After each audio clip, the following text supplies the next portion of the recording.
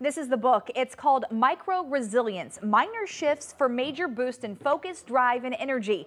And what separates this book from so many others is that you can make immediate changes that have instant results. People ask me, you know, how can I be more resilient? And if anyone knows about being resilient, it's Bonnie St. John. She has one leg, she's one of the first African American skiers, and a Paralympic medalist. But her resume doesn't stop there.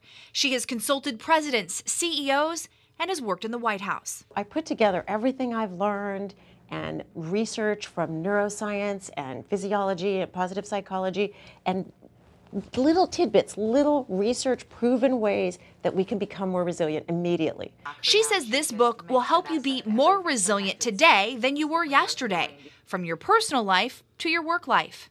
She lays out the five frameworks in her book refocus your brain, reset your primitive alarms, reframe your attitude, refresh your body, and renew your spirit.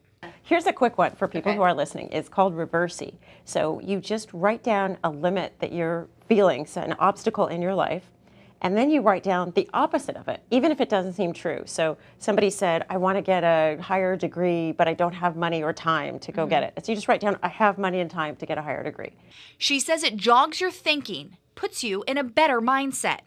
Often we get so attached to our obstacles and limits, we don't know how to think of anything creative op opposites. Her husband also is a co-author on the book. Now she's hosting free virtual classes as you make your way through the book. You can find her on Facebook or you can sign up through their website, microresilience.com. The book is available for pre-sale right now on Amazon.com.